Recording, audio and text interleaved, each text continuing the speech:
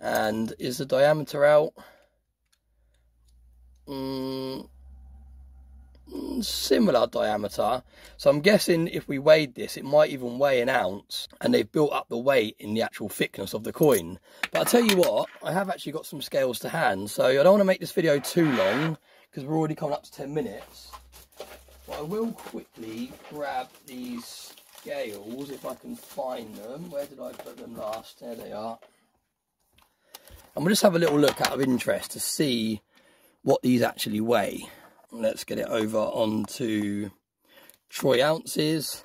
I'm not going to adjust all the camera for now. I'm just going to tilt it down. So that's the, the normal one. You can see it weighs just over a, a troy ounce. And if we put on this fake one, let's have a look what it comes up as. So there we go. So it does actually weigh an ounce. So that is what they've done. They've made these weigh an ounce, a troy ounce, by increasing the thickness. So I'm not exactly sure what metal these are made from. If you tap it, if you tap them together, they don't sound like silver. It's probably copper coated, maybe silver. It's really, really hard to tell unless you put it on an actual machine that can verify what metal it is.